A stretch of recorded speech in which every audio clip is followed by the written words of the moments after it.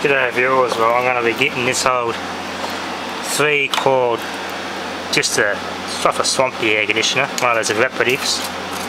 There's an old second hand unit I got and this is just a hardwired part that was used, they used a hardwire into the roof. They used a really old, um, uh, really old flexible hose conduit. This is just the old wire that was that we had left in it. And uh, yeah, it's just probably 60s, 70s era. It's got a separately bare earth um, cable. It's not even um, stranded.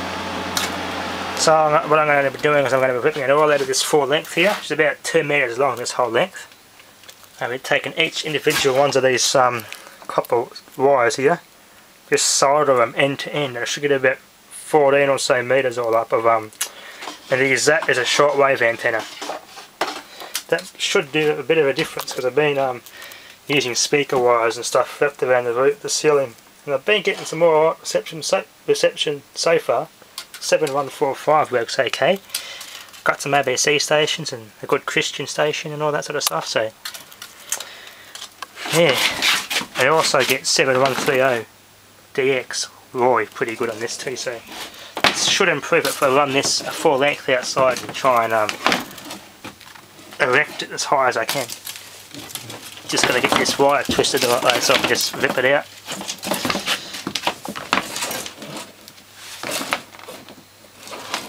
Good quality house building wire from the 60s and 70s. Great Australian made stuff.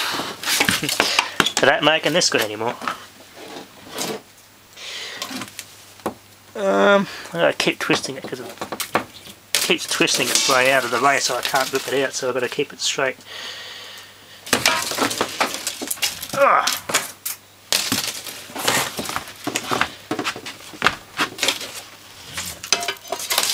That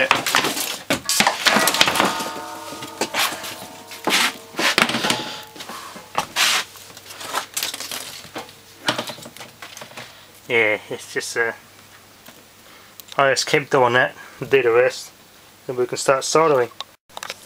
Okay. Viewers this is my antenna so far. Just I've unraveled all this length of wire here. It's all twisted together pretty labour intensive to get this neatly undone without tangling.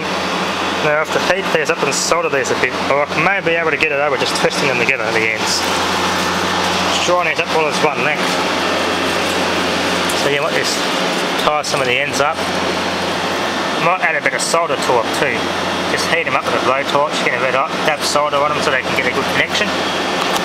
That way I can maintain a good connection throughout the whole antenna see how that goes. So just keep doing all this. Like that. Twist them together, solder. Do that, see how that works out. I'll try that. Then I'll write them up on a wooden stick down there to store it all.